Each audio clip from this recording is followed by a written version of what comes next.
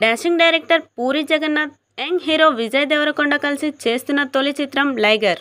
ఈ సినిమాతో ఇద్దరు పాన్ ఇండియా బరిలోకి దిగబోతున్నారు.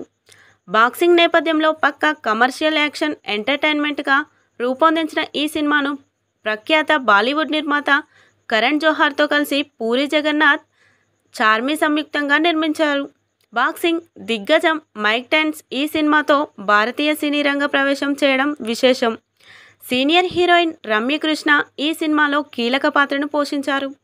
ప్రపంచవ్యాప్తంగా పాన్ ఇండియా భాషల్లో ఆగస్ట్ ఇరవై ఐదున విడుదలై రాబోతున్న లైగర్ ప్రమోషన్స్ ప్రస్తుతం ఫుల్ స్క్రీమ్లో జరగబోతున్నాయి.